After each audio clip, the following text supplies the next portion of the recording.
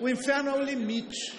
Essa ideia me ocorreu hoje quando vi mais uns procedimentos dentro do Conselho de Ética, e eu falo lá daquele lugar dos coroas de quem foi do Conselho de Ética na época do mensalão. Parece que as manobras são infindáveis para que uma simples admissibilidade de um processo seja votada. Então, todo tipo de interferência, e agora criou-se esse instituto.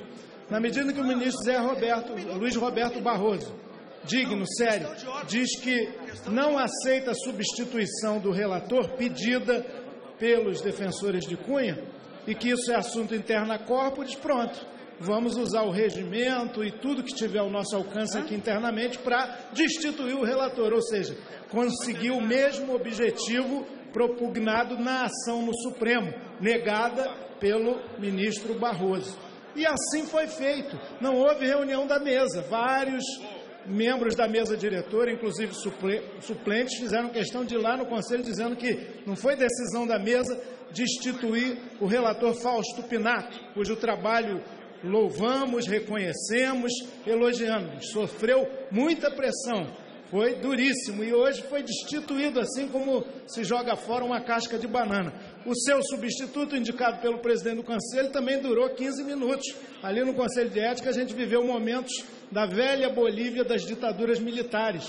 O presidente era trocado em poucos meses. Assim foi o Conselho de Ética, é uma desmoralização para um órgão tão importante.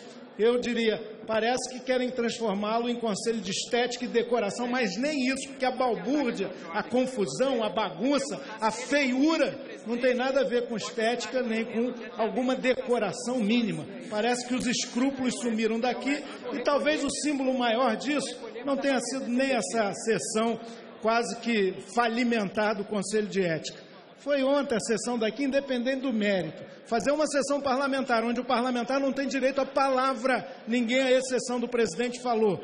E onde o direito do voto aberto, que aliás é garantido a todo aquele que não vê o voto secreto previsto na Constituição, como é o caso de decisão, eleição de comissão especial para impeachment. Não está escrito na Constituição que esse, tem, tem que ser voto, esse voto tem que ser secreto. E o ministro Aires Brito falou, para quem quisesse ouvir hoje, está nos jornais, o voto aberto é a regra. Portanto, já tivemos uma antissessão parlamentar e hoje uma anti-reunião do Conselho de Ética. Tempos difíceis, cartas embaralhadas, sinais, sinais trocados, tudo demorando em ser tão. Presidente, a questão.